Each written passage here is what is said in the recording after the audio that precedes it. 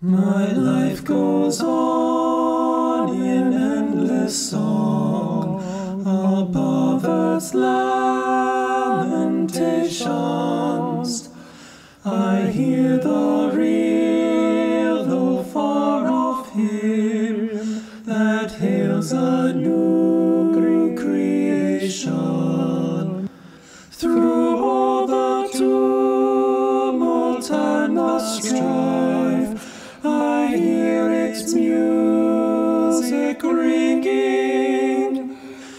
It sounds an echo in my soul. How can I keep from singing? While through the tempest loudly roars, I hear the truth it liveth.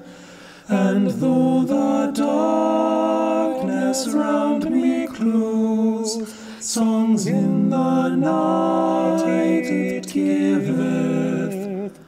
No storm can shake my inmost calm, while to that rock I'm clinging.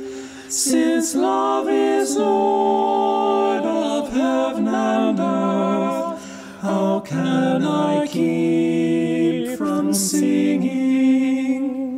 When tyrants tremble in their fear and hear their death knell ringing, when friends rejoice both far and near, how can I keep from singing?